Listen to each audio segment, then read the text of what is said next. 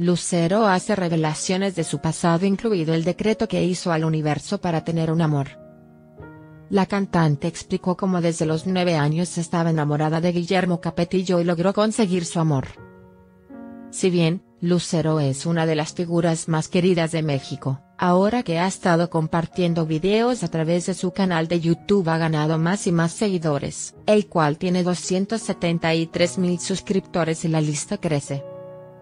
En el último video que compartió la cantante cuenta que mientras trabajaba con Pedro Fernández en las películas siendo unos niños, ambos, eran más que divertidos y no dejaban de hacer travesuras. Pedrito Fernández y yo con 14 años de edad, no tienen idea de la cantidad de travesuras que hacíamos, y cómo la pasábamos juntos en la película Delincuentes Hoy, comentó en el clip. Luego de eso, vino lo interesante, pues dijo que, cuando hizo la película Quisiera ser hombre con Guillermo Capetillo algo maravilloso pasó. Pues al parecer, desde que era una niña pedía al universo con todas sus fuerzas para tener un novio bastante particular. Primero actuamos juntos Guillermo Capetillo y yo, y luego, fue mi novio y toda la cosa, pero, la verdad yo siempre que lo veía decía que estaba guapísimo y cuando yo tenía nueve años. Él salía en una telenovela que se llamaba Los ricos también lloran, y cuando yo lo veía en la tele, decía que era el más guapo del mundo y pues lo decreté, confiesa la cantante entre risas nerviosas y coquetas.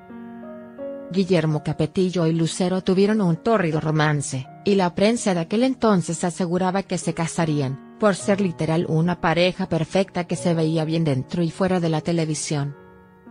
Ambos, volvieron a encontrarse después, cuando ambos tenían una pareja formal durante la telenovela mexicana Mañana es para siempre.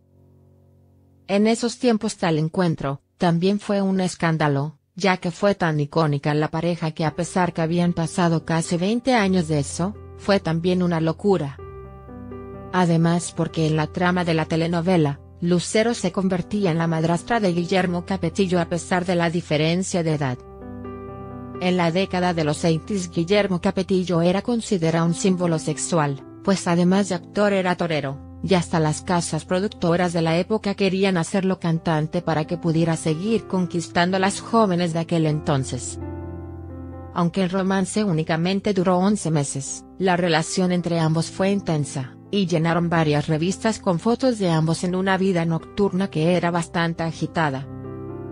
Lucero también habló de su ex esposo Manuel Mijares, y de los proyectos que más recuerdos buenos le han dejado. Sin duda la cantante está aprovechando al máximo sus redes sociales, y ahora que es coach del programa La Voz Kids está acercándose más a las redes sociales pues el público al que ahora llega se le está pidiendo así. La también actriz, también ha compartido videos de grabaciones, detrás de sus presentaciones y hasta ha hecho tutoriales de maquillaje, sin importar salir completamente sin maquillaje y decir sus secretos para lucir increíble.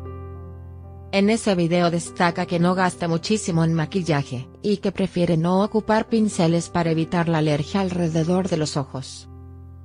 Lucero, asegura no ser una diva y dice que ahora se siente muy cerca de la gente que interactúa con ella en todas sus redes sociales. La cantante, por ahora promociona su tercer disco de banda, el cual ha sido todo un éxito en México y la Unión Americana.